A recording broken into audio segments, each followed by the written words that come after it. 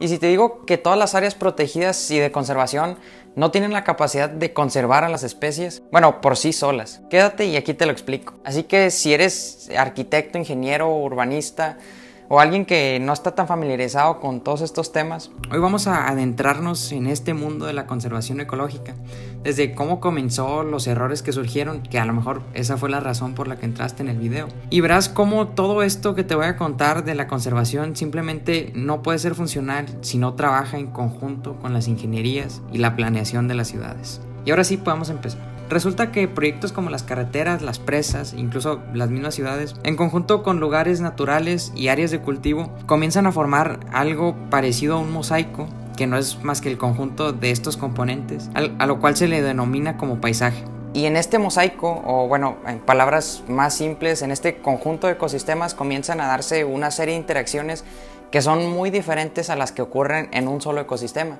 Esto es algo de lo que ya hablamos en este video pasado, así que si no me alcancé a explicar todo esto del paisaje con lo que te acabo de decir, puedes ir a ver este video. Y bueno, pues todas estas obras, construcciones y demás ha provocado muchos cambios en la manera en que se acomodan los, los paisajes actuales que sobra decir que son muy diferentes a los que existían antes de que el ser humano pues tuviera una influencia considerable en el ambiente.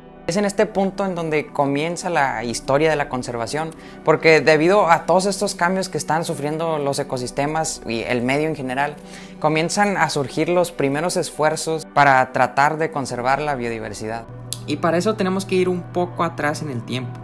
Nos encontramos en Estados Unidos en el año 1872 cuando el Congreso de este país, que fue motivado por diferentes personajes, entre ellos Theodore Roosevelt, el presidente de Estados Unidos, crean el sistema de parques nacionales, que consistirían en grandes áreas o territorios que se encuentran protegidos debido a su riqueza biológica. Este sistema sería inaugurado con el Parque Nacional de Yellowstone. Así es, el primero de la historia. Y gracias a la gran aprobación que recibió este proyecto, Yellowstone sería solo el primero de muchos parques y áreas que se protegerían en un periodo de tiempo relativamente corto. Pero aún con todas estas áreas que se protegieron en conjunto con programas de especies en peligro, creación de áreas silvestres, bosques nacionales, el Servicio Forestal de los Estados Unidos, la Oficina de Gestión de Tierras, el Servicio de Vida Silvestre y todavía muchos activismos más. Las poblaciones de especies como los linces, las tortugas de tierra, el cóndor de California, el gorrión costero y muchas otras más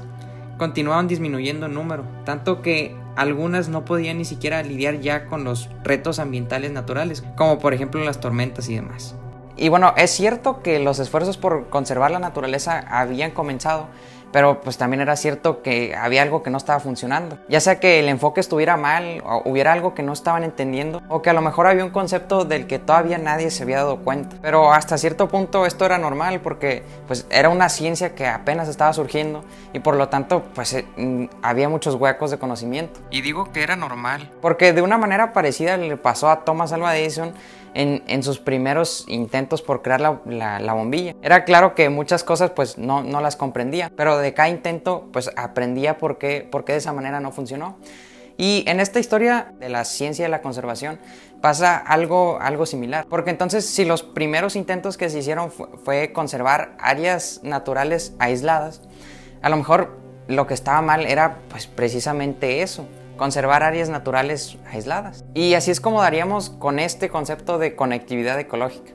Porque comprendimos que dependiendo de las especies, algunas necesitaban de mayores o menores extensiones de terreno simplemente para cumplir con sus necesidades fisiológicas, como el hecho de conseguir comida o encontrar pareja. Para que lo entiendas un poco mejor, esto es lo mismo que ocurre cuando, por ejemplo, tenemos hambre y pues vamos a la cocina por algo de comer. O a lo mejor estás cansado y entonces pues vas a la recámara a dormir. Y aparte de esto existen otros procesos más complejos como el hecho de que las especies colonizan lugares muy lejanos al sitio en donde nacieron. Y solo así es que la descendencia de estas especies podrá tener una variabilidad genética normal. Algo que en territorios aislados se vuelve muy difícil porque debido a la, poca cantidad de población, esto puede terminar en que especies emparentadas, es decir, que, sean de la misma familia, se reproduzcan, lo cual causa una mayor probabilidad de heredar males asociados con los defectos que, que se encuentran en sus genes. Y bueno, en pocas palabras, esto se traduce en la reducción de la capacidad de estas nuevas generaciones para adaptarse al ambiente. Y entonces esta sería la pieza faltante que en el rompecabezas de los parques nacionales no habían tomado en cuenta. Y ahora vamos un poco más a fondo en este concepto para que veas la complejidad que tiene. La conectividad, es decir, el que una especie pueda trasladarse de un lugar a otro, puede derivar en una conexión física entre esos dos lugares por los que el animal se mueve, pero también puede ser estructural, es decir, que gracias a las habilidades de esa especie de fauna pudo llegar del primer sitio al segundo, y no necesariamente porque los dos lugares estuvieran conectados. Como por ejemplo, un ave tiene mucho más fácil cruzar una carretera que uno de estos.